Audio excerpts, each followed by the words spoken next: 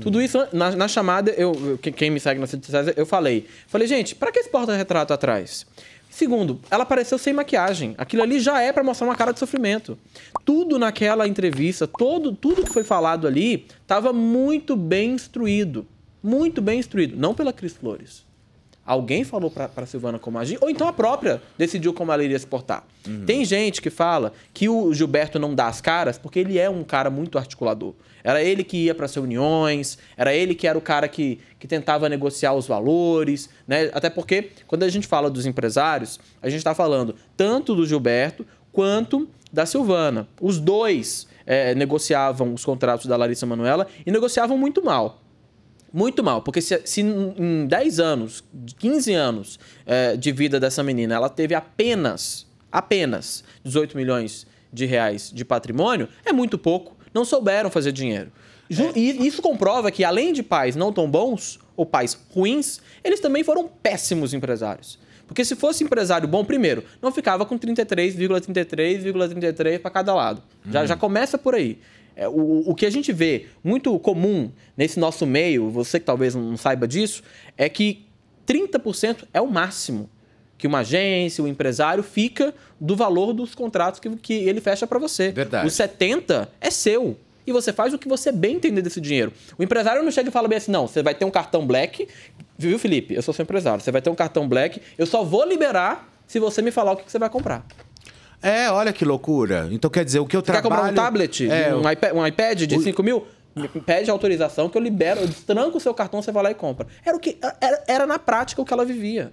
Então, quando a mãe se defende falando, ah, o cartão black, ela tinha um cartão, e ela ainda dá um sorrisinho de canto de boca. vocês verem como ela é. Essa mãe, eu acho. Ela é sarcástica. É sarca sarcástica, sarcástica. Na entrevista, ela estava usando esse tom. Então, ela dá um sorrisinho de canto. Você acha mesmo, Cris? Que ela não tinha dinheiro para comprar um mesmo milho. que ela não tinha um dinheiro Eu falei, porque, porque do jeito que estava indo a história, eu falei, daqui a pouco a culpa é do milho, do chá e do sorvete. é isso que eu estava começando a imaginar. Eu falei, daqui a pouco vai ser o sabugo, é o culpado, entendeu? Porque do jeito que estavam desenhando a história, eu ia falar, gente, é impossível isso estar tá acontecendo. Eu não sei se é porque eu sempre tive uma mãe muito libertadora. Porque minha mãe sempre também. libertou, libertou, liberta, tchau, vai, vaza, vaza, tchau, entendeu?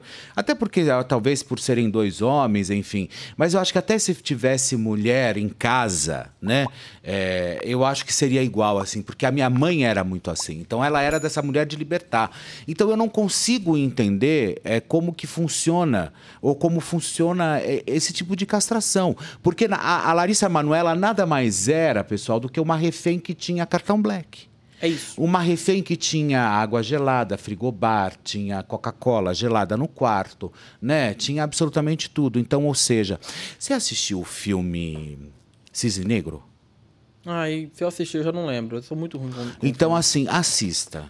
Como é, como é? É a, a nítida, mensagem. É, a, é o que realmente está passando a mãe da, da Larissa. É, é, o Cisne Negro. Você já assistiu, Ju?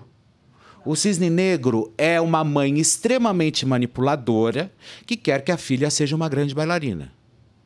Só que a menina, você percebe ali que ela faz tudo aquilo porque a mãe quer que ela faça. E a mãe manipula ela ao máximo, assim. Tanto que, eu não vou contar, lógico, o final do filme.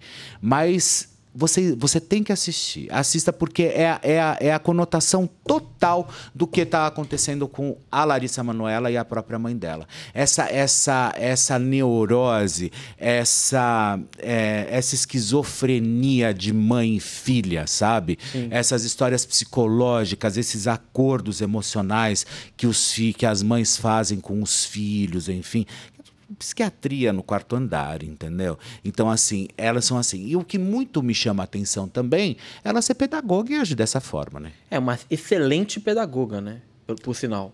A gente está vendo que ela escolheu uma profissão ela melhor. Ela deveria montar uma escolinha chamada Carrossel. Olha aqui. Olha, eu sugiro que você, que é mãe, não coloque sua criança nessa escolinha. É. Tá? Escolha uma outra. Chamada Carrossel é. Educação Infantil. Imagina. Pois é, porque assim, de alguma maneira a gente percebe que ela não, não soube gerenciar bem o papel de mãe e não soube gerenciar o papel, bem o papel de empresária. E, e você falando isso, só me, me, remete também que a mãe, a mãe queria controlar até, até, até os passos que a filha dava. A roupa que a filha usava, os relacionamentos de, amig de amizades, relacionamentos com outros caras, né? Os, os ex-namorados que ela levava para Disney, enfim. Esse tipo de controle é, faz com que ela literalmente se sinta numa prisão.